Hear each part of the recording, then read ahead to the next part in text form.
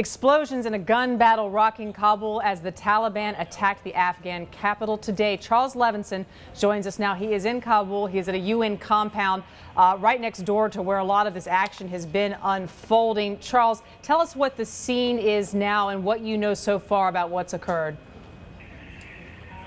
Well, the scene right now has appeared to have finally quieted down just in the last few minutes, I'd say, half an hour at most.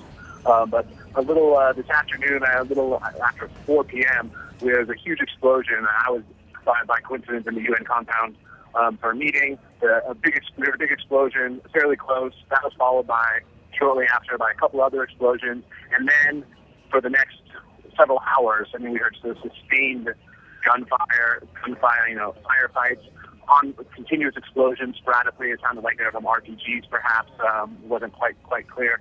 Um, and and and and, and, only recently uh, has it has it started to calm down several hours after the initial attack.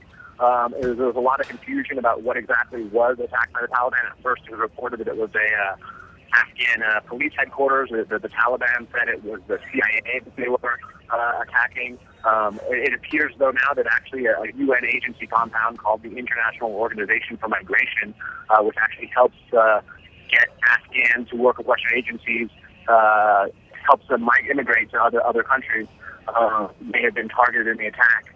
Um, we know that uh, so far two UN staffers appear to have been seriously injured. Um, another number of them more minor wounds. Um, uh, we've heard preliminary reports that at least one Afghan police guard was killed and, and, and more wounded, but those are very preliminary. We're not quite sure. Um, UN, U.S. soldiers were brought in to escort wounded out of the area to the UN compound, but we're not clear. We're not sure if they played any further role or what role they might have played in helping to sort of parry the attack.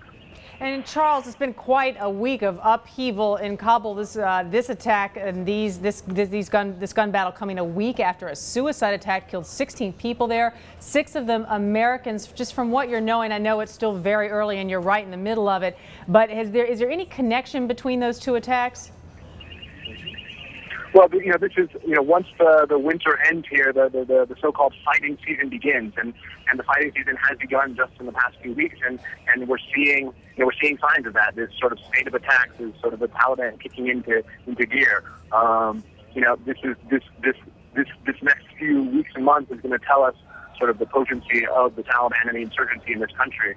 Um, and and you know the past the past couple of weeks with the, the, the flurry of attacks we've seen, you know, the indications are not all that encouraging. I mean, the signs are that this insurgency honestly still does retain uh, a pretty uh, potent fight. All right, Charles Levinson, he is reporting live from us right now in Kabul, Afghanistan, where a series of gunfire and gun battles have broken out. Uh, thank you, Charles, for that report. We'll be back to you later in the day for more.